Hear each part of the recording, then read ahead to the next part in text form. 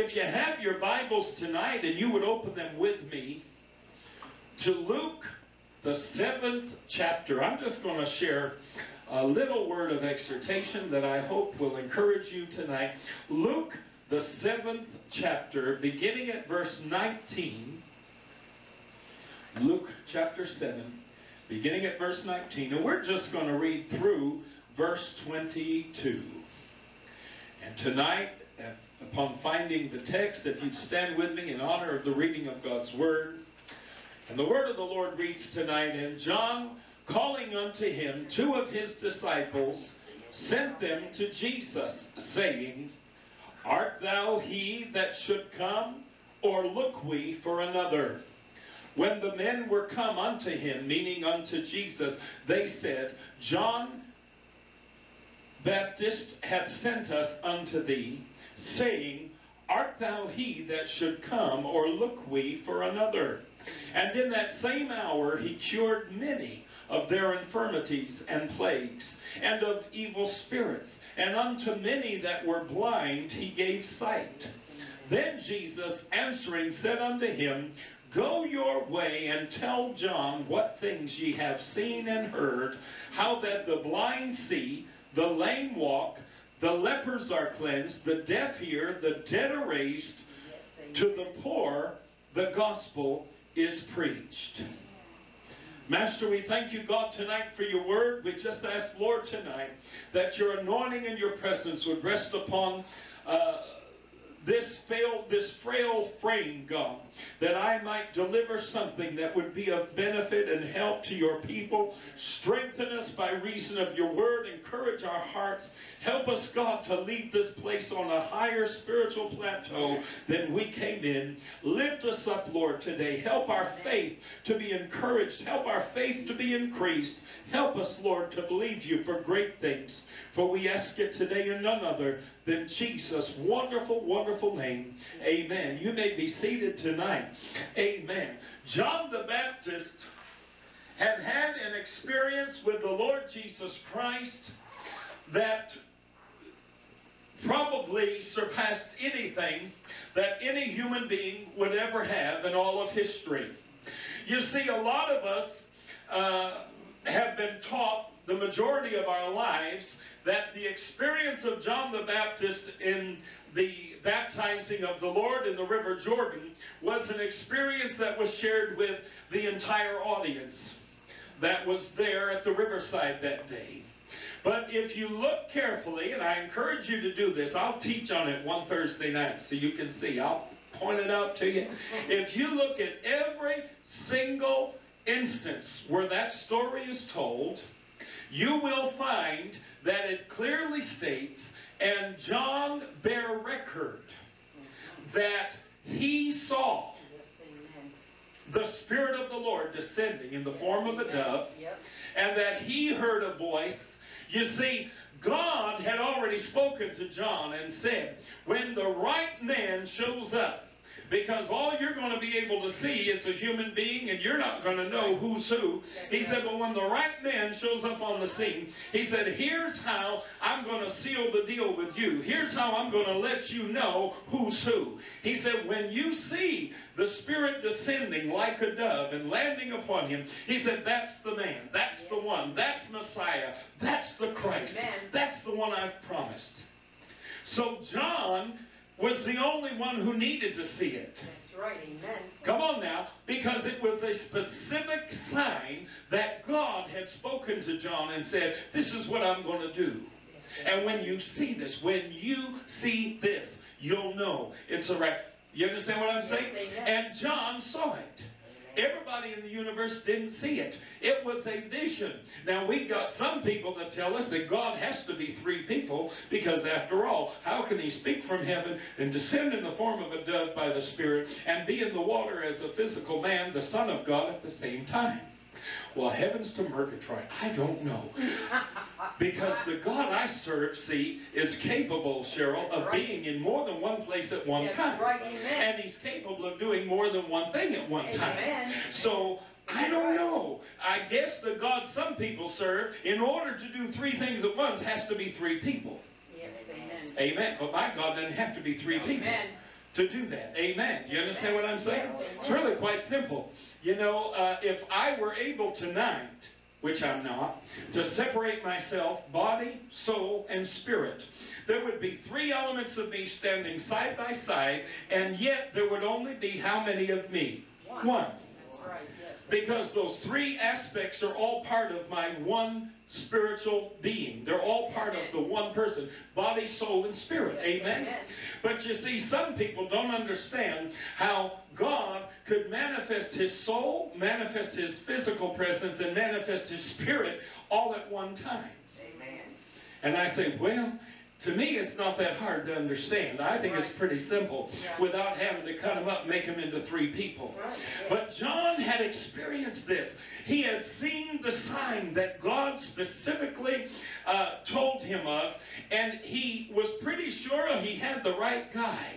But at some point in his experience and in his life, as he neared the end of his life, all of a sudden he began to have questions and he began to doubt and he wasn't sure. You know, sometimes God can do the most wonderful, miraculous things for us, Cheryl, and then down the road a ways we forget all about it. Right, yes. Come on, man. We start to question and we start to doubt, and we're not as sure as we were 20 years ago.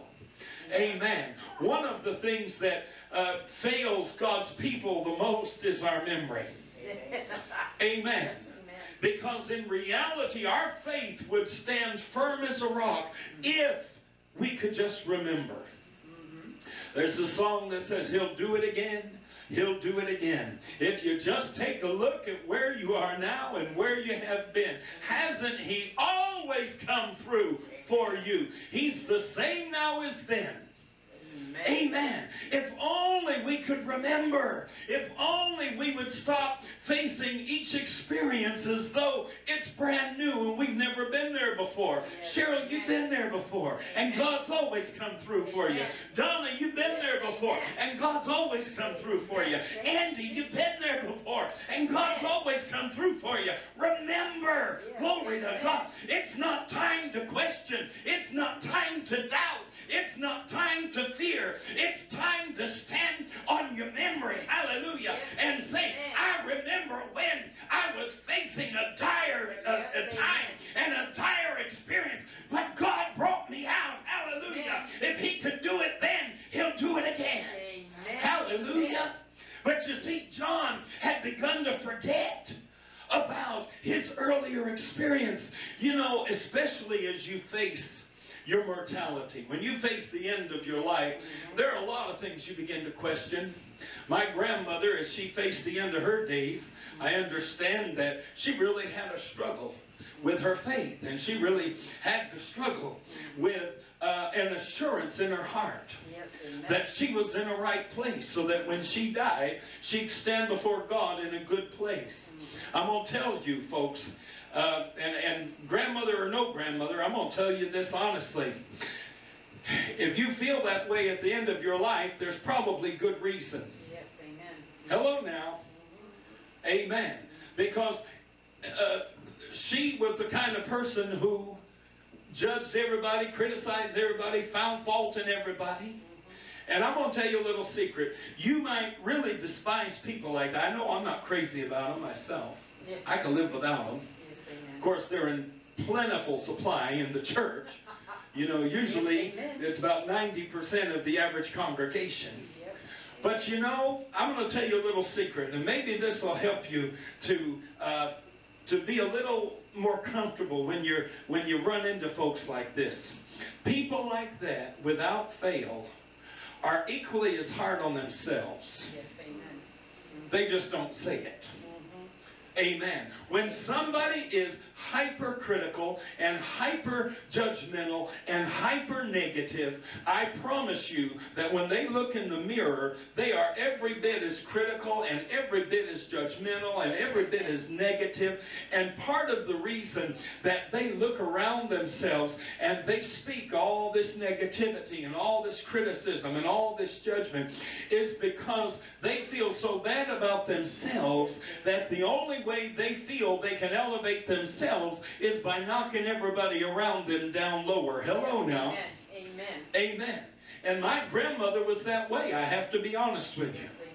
And she constantly was knocking everybody around her down a peg so she could feel like she was up a peg. But in reality, if you could see in her spirit and see in her heart, she was every bit as judgmental and critical of herself.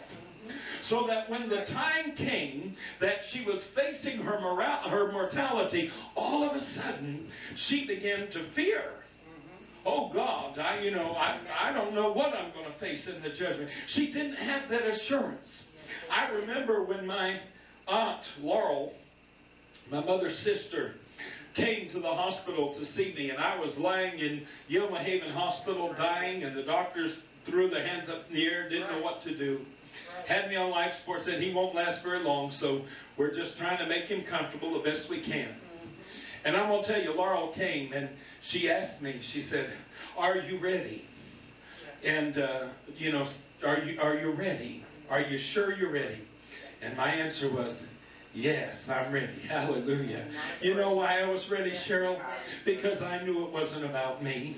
I knew I wasn't standing on my holiness. I knew I wasn't standing on my perfection. I knew I wasn't standing on how good I was. I was standing squarely in a pool of blood that flows from Calvary's tree. Hallelujah. I was standing on the blood of Calvary. I was standing on the blood of the Lamb. And my confidence and my faith was not ending in how good I could be or how holy I could be or how righteous I could be. My confidence and my faith was in what God had promised. My confidence was in the Word of God. My confidence was in the blood. And therefore, I was able to face my potential demise with absolute confidence and peace in my heart. That's right. Amen. I was ready. If God wanted to take me home, I was with Paul. For me to live as Christ and to die is gain. It's only better if I go. Amen. That's right. Amen. It's only better if I go home. So what difference does it make to me, one way or the other, which direction I go? Amen? Amen. But you see, folks, uh, when you get to the point where your mortality is right in front of your eyes, it will often make you begin to question some of your earlier experiences. It will kind of make you, because John was sent by God to perform an extremely important function. He, in the spirit of Elijah, was to proclaim the arrival of Messiah. Yes. Amen. So that was, he couldn't afford to mess it up. He could not afford to die and maybe, possibly, maybe sort of have been wrong. You hear what I'm telling you? And he knew how important his mission was. Oh, by the way, let me share something else with y'all. For those, again, who believe that the Father and the Son are separate persons and separate individuals, let me help you understand something. My Bible tells me that John was a man sent by God. Yes. Amen. Wait a minute. Says that it was a man, it was a man sent from God whose name was John. Does that mean that John was an eternal being who lived in heaven before God sent him? No. It simply means that God had an audience with John, so to speak, and placed a calling on his life, and he sent him forth to do what he had been called to do. The same is true of the man, the Lord Jesus Christ. He had a calling and he had a, a mission that God put him on, but that does not mean that he had to eternally exist beforehand in order that he could be sent, quote, from God, because the Bible said John was sent from God. Yes. So that means if the Lord's an eternal being who existed prior, then that means John had to have been too. You see, the language sometimes, especially of the King James, the language can be a little bit confusing. But you see, the Word of God tells us that He is the only begotten Son of God. And in order to have been begotten, that means that He had to have had a start. He had to have a beginning. Amen. Amen. He said, This day have I begotten thee. In that manger, on that first Christmas morning. God in heaven looked down upon that little child as the star of Bethlehem shone upon him, and he declared, This day I have begotten thee. Hallelujah. And you will be called the Son of the living God. Glory to God.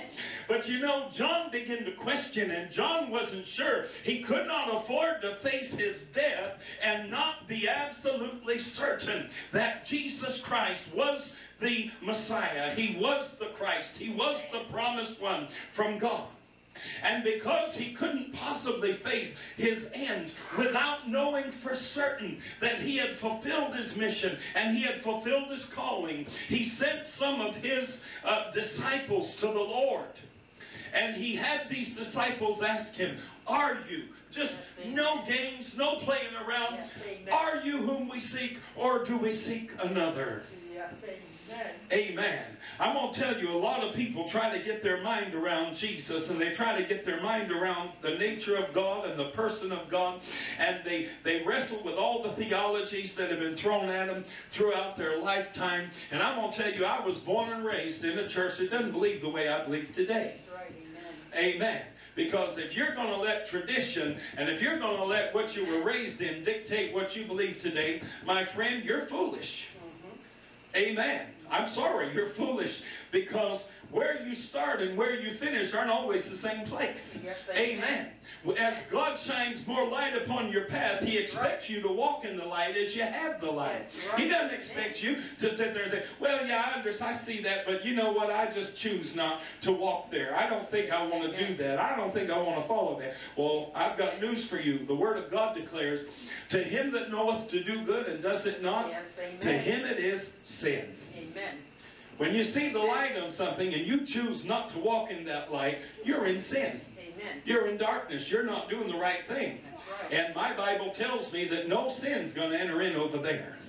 Amen. So as God illuminates our path and shows us more light, He requires that we walk in it. But I had struggled uh, with the identity of the Lord for much of my life, and I, you know, I, I heard this argument over here, and I heard this one over here, and I was raised, you know, believing one thing, and yet I, I saw what these people were trying to say over here. And I did not ask Andy. I love people that want to argue and debate, and they expect me to hand them the answer on a silver platter. A lot of people on the internet, you know, they'll write all that, they'll just want to debate with you till the cows come home. And they expect you to just hand them the answer on the silver. I got news for you. God didn't hand, I mean, nobody handed it to me, and I'm not going to hand it to you. Right. This morning we talked about the fact that the Lord said to Peter, who you know, and to the other disciples, "Who do men say that I am?" Peter said, "Thou art the Christ, the Son of the living God." Right, and, she, and the Lord said, uh, "Flesh and blood hath not revealed this unto thee, but my Father which is in heaven." Said Peter, "There's not a man on this planet that could Right. hand you that That's right, revelation. amen. There's not a person on this planet that could simply Amen. hand you an understanding of who I am. That had to come from heaven." Amen. Well, I've got news for you today. Until you go to Jesus like John's Amen. disciples do and say, Are you That's this right, one amen. or are we looking for somebody else? Amen. right. I got to the place in my life where I went to God, not to this preacher or to that amen. preacher, not to this theologian or to that theologian, not to this believer or that believer. I went to God and said, Lord, I need to know the answer. Amen. Amen. And I'm going to tell you what God did. He opened my eyes, literally. Right. And I, man, I had a revelation that very night of who He was. And all of a sudden, I began to read the scripture. And, and Cheryl, it was so plain that, it, I mean, it could have reached out and slapped me upside my head. I couldn't believe how plain it was. All these years I was raised in one belief system, and they were so busy twisting scripture and contorting it and making it say what they wanted it to say that I never saw what was right there in front of me right. Amen. in plain black and white. Amen. All of a sudden, God just opened my eyes, and I began to open my Bible and look through my Bible, and I'm reading, and I said, Jesus, I don't believe this. It says it so plain.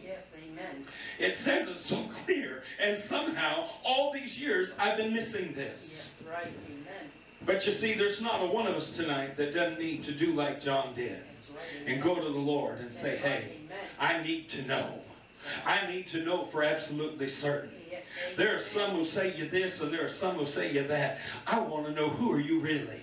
Tell me, are you the one? Are you the one that I think you are? Are you really who I believe you are? Or is there somebody else I need to be looking at? Amen. And I'm going to tell you tonight that the Lord didn't even, the Word of God tells us, the Lord did not verbally respond to them. He just kept doing what he was doing. And during the course of the afternoon, he was healing people. And demoniacs were being delivered, and lepers were being healed, and all kinds of miracles were occurring, and great things were happening.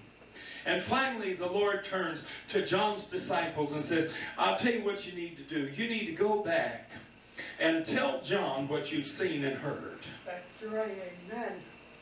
I'm not going to give you a verbal answer. I'm not just going to say, yeah, I'm the guy. I'm the one you're looking for. No, no, no, no. I want you to go back and tell John what you've seen and heard. Yes, amen. I'm going to tell you tonight, my friend, the real evidence of Jesus' identity is in his actions. Yes, The real evidence of who Jesus is is in what Jesus did. Amen.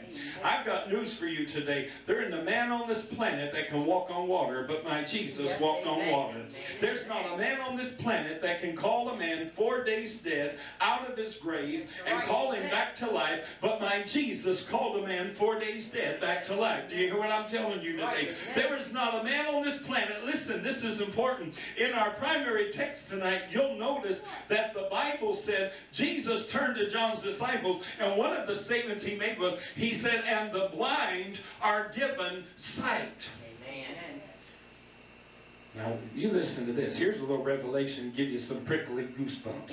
Yeah. He said, The blind are given sight. He did not say, The blinded eyes are restored. Oh. Uh-huh. He Oh. said, The blind are given sight. Who else but God? Yes. Who else but God can give sight to the blind? Who he didn't fix what was broken, he gave them what they never had. Hallelujah. He didn't restore eyes that didn't work. He gave them brand new eyes that did work. Hallelujah. He didn't say, I fixed that those blinded eyes. He said, the blinded eyes said are given sight. Amen. Hallelujah. I've given the blind sight. Amen. Who else but God could do this? Now I'm going to tell you, John's disciples went back to him and shared with him what they saw and what they heard. And John knew immediately. Yes, that experience I had at the Jordan that day was true. I've done my job. I have fulfilled my calling. I have honored God in everything that I've done. I haven't messed up. This was the right man. I did the right thing. Hello now. And how did he know? Because John was a devout man. John was a prophet. The Bible said the greatest prophet that would ever live. That's how Jesus described John. He said, No greater prophet than John has ever lived. But you see, when those when those men, those disciples of his came back and told John what they had seen and heard, John, I just imagine him standing there with a big smile on his face. And I can just imagine him thinking for a moment, and then all of a sudden a scripture verse kind of popped into his head, and he began to quote Isaiah 35, 3 through 6. Strengthen ye the weak hands and confirm the feeble knees. Say to them that are of a fearful heart, Be strong, fear not. Behold, your God will come with vengeance. Even God with a recompense. He will come and save you. Now listen. Then the eyes of the blind shall be opened, Oh. and the ears of the deaf shall be unstopped. Then shall the lame man leap as an hart, and the tongue of the dumb sing. For in the wilderness shall waters break out, and streams in the desert. Tell John what you've seen and heard. They went back and said, This is happening. And John said, Then he's the right man because God said in Isaiah that he himself would come and save. He himself would come as our Savior. He himself would come. And when he did, blind eyes would be opened. And when he did, deaf ears would be unstopped. And when he did, the lame would walk. Hallelujah. He said, When God shows up on the scene, you're going to see these miracles. When God Himself appears on the scene, you're going to see these miraculous, wonderful happenings. Yes, amen. John said, Yes, sir, that's the right guy. We, that's, I've been, I did the right job. Amen. That's the right man. Because God Himself declared, Your God will come with a vengeance. I want to tell you something. When God comes to fix something, if somebody done you dirty, somebody's done you wrong, and God comes to fix it, baby, He's going to come with a vengeance. Do you hear me now? He's going to come mad. Amen. You don't want to tick off my daddy, devil. I've got news for you. You don't want to make my daddy mad at you. Because if you do, he's going to show up, and he ain't going to show up being all nice and sweet. He's going to tear you up. Amen. Because when my God shows up, he Amen. shows up with a vengeance. Amen. Hallelujah. When my God shows up, he shows up to save. Glory to God. And God declared time and time again in the Old Testament, He said, I am the Lord thy God, meaning Jehovah God. He said, and beside me there is no Savior. If there's any saving to be done, I'll do it. Amen. If there's anything that needs to be done, I'll handle it myself. I don't send somebody to do something on my behalf or for me. I do it myself. That's right, amen. That's why the Word of God tells us in the New Testament, the Apostle Paul wrote and said, To wit, God was in Christ, reconciling the world unto himself. That's right, amen. Amen. God did it himself, Cheryl. He didn't send somebody to do it. He came and did it himself. He wrapped himself in a robe of humanity and did what no man could do. Do you know the Bible says, the Word of God declares, no man can give his life for another man's soul. No man right. can offer his life for another man's soul. Well, I've got news for you. If that be true, then every one of us today is lost. If he were a man. If Jesus were only a man. That's right, amen. Do you hear what I'm telling you today? Right, The. Word of God tells us plainly, no man can do that. Well, if no man can do that, then how in the world could one man do it for all of the world, for the entire planet? How could it be? It's because he was more than a man. Amen. He was more than a man. He was God wrapped in humanity. He was divinity wrapped in humanity. Glory to God. There's an old advertisement they used to have on television years ago, if you remember. How many licks does it take to get to the center of a Tootsie Roll? Uh, Tootsie Pop, you remember that? And the little owl, you know, he go one, two, and eat it up. And he'd get the gum in the middle, you know, or the Tootsie Roll. Well, you see, the reality is that was God. The divinity of Almighty God, the heart of God, was inside that man. We saw the man, but inside that man was something more. Which is why he was able to heal the sick and cleanse the leper and raise the dead. You see, those things weren't done simply because God was working with him. No, those things were done because God was working in him and through him. Mhm, Amen. When that little woman pushed her way through the crowd and got down on her hands and knees and made her way up and had in her mind, if I can but touch the hem of his garment, I can be made whole. I'm here to tell you, my Bible tells me, and I know yours does too, that Jesus immediately sensed what? That virtue had gone out of him. Yes, amen. Now, see, Andy, if somebody wants to be healed and they get down on their fours and they crawl up and grab hold of the pant leg of my pants, I ain't got nothing that heals. Yes, Hello now. Now, if they want to come up and they want me to pray for them and lay hands on them and believe God for them, I can do that. Yes, amen. Because I am capable of serving as a conduit. Mhm, Amen. God can work through me. Amen. But you see, it's a whole different thing when you're merely a conduit that God works through. Mhm. And it's a whole different thing when the source of the power is within you. Mhm. And all that little lady had to do was touch his clothes. Didn't even grab hold of his ankle, didn't touch his leg, didn't touch his foot, grabbed hold of his garment.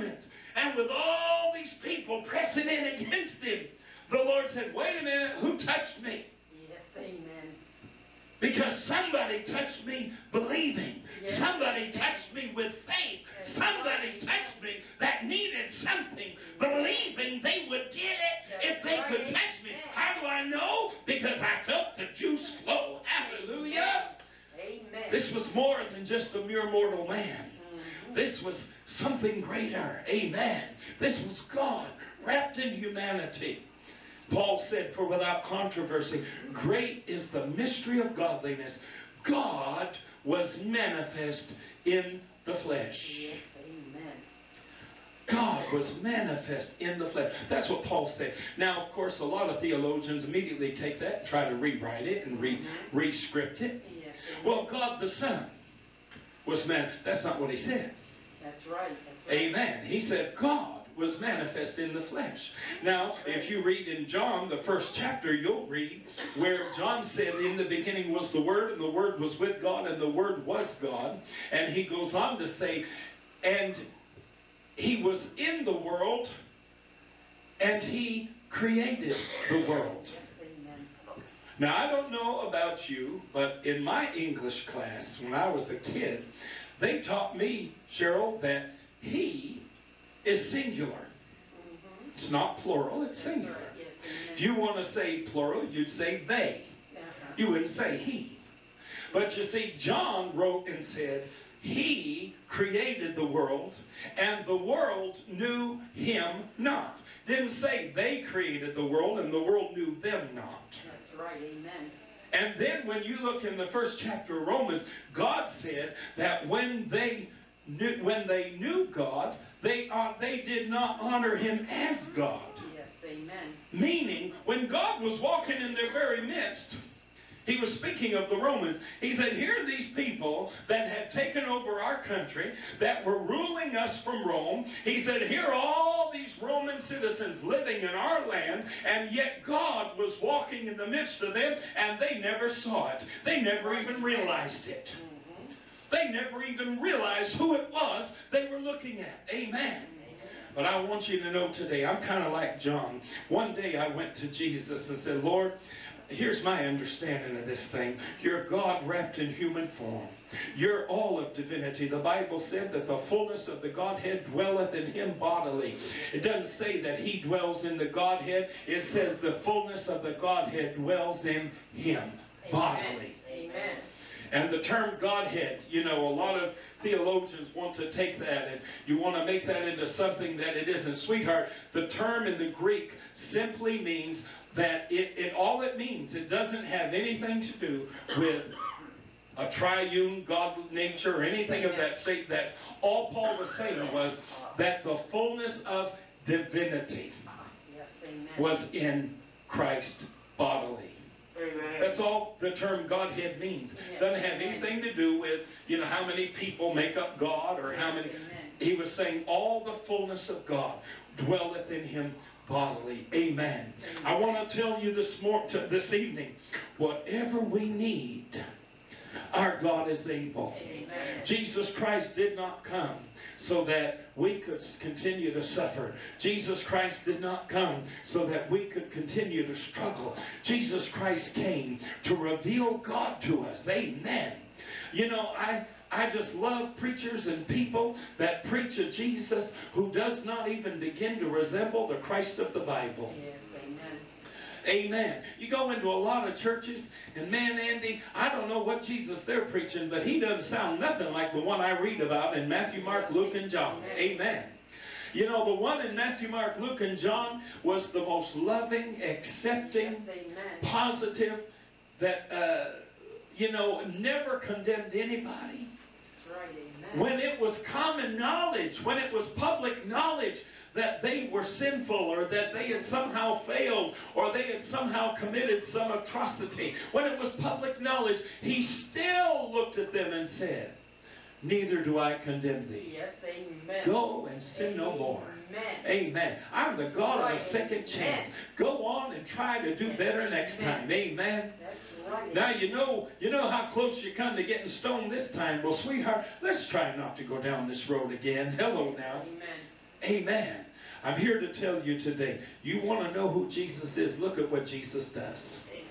Amen. Amen. You want to know today if Jesus is still who he said he was? I'll tell you what. Look at what he's still doing. Yes, amen. Look at what happens in his name. Look at what happens when people of faith use the name of Jesus. Right. Demons Amen. still tremble. That's Demons right. still Amen. exit the lives of people they've oppressed and tormented. Sickness still flees. I'm here Right. tonight as a living example of the power of Jesus' name. Amen. And I want you to understand tonight. You want to know if he is who he said he is, then just look at what he does. Amen. Amen. Notice I didn't say look at what he did. That's right what he does. Look at what he does. Because he's still doing it, Cheryl. Amen. He's still doing it today. The name of Jesus still brings healing. The name of Jesus still brings deliverance. The name of Jesus still makes a drunkard into a respectable citizen. Hallelujah. The name of Jesus still can wipe out addiction and cause someone who's been uh, addicted to drugs for years and years and years to suddenly find that they have absolutely no interest or any appetite for those drugs whatsoever. Right, amen. Going to tell you, you're going to try to tell me my God isn't real. You're many years too late. Yes, amen. I've seen God deliver too many people. Amen. I've seen God set people that were on a destructive path and they were, uh, it looked like they were going to uh, just destroy their lives. And I've seen God step in, and all of a sudden that person was so different and so changed and so uh, transformed by the power of God. Don't tell me my God isn't who He said He is. Amen. Because it's not a matter of what he did, it's a matter of what he does. Amen. He's still doing it today. Amen. I like that old song, and I'm closing with this. There's an old song that says, You won't leave here like you came in Jesus' name. Bound, oppressed, tormented, sick or lame. For the Holy Ghost of Acts is still the same. And you won't leave here like you came in Jesus' name. Amen. Peter preached after, or preached, he declared after the healing of the man at the, the gate of the temple that was called Beautiful. And Peter declared, This same Jesus. He said, You want to know how this man's healed? He said, The same Jesus you crucified is the same Jesus who healed him today. You may not see him because he's no longer in the world in one physical person. Rather, today, he is by his Spirit occupying every believer. Everyone that's opened their heart and life to Him, He's living inside of and living through today. So I've got news for you. This man's healing came by reason of this same Jesus. That's right. Amen. Hallelujah. Lord, are you who we seek or do we seek another? Just look at what He's doing. Amen. He's the one you're looking for. Amen. Amen. I don't know where you're at in your life. And there are people tonight that may be watching this message on the internet. And I want you to understand today this Jesus is the one you're looking for. Amen. You may not even realize you're looking for him. Yes. But I'll tell you, when you find him, suddenly you'll realize that that's the thing that was missing. Yes, amen. Amen. There's a lot of people today that are fighting God and struggling. And I'm here to tell you tonight give up and give in Amen. because God's going to win. Amen. Give up and give in because God's going to win. I've got a baby brother that I love dearly. And I'll tell you, he's going through a lot of grief in his life tonight because he's fighting God and he's trying to run. Mhm. And I'll tell you, you don't want to have to get to the bottom of the barrel to finally look up. You hear me now? Amen. But understand, is he the one you're looking for? You better believe he is. Amen. Look at what he's doing in our world today. Look at what he's done for me. Amen. The old song says, Look what the Lord hath done. Look what the Lord hath done. He healed my body. He touched my mind. He saved me just in time. I want to tell you, when we sing that song, I feel it right down to the depths of my bones. There was a time in my life where I'd sing these kind of songs and I didn't identify with He healed my body Yes, amen. like I do today. Yes, amen. But I'm going to tell you, He is who you're looking for. Amen. Amen. Would you stand with me tonight? Amen.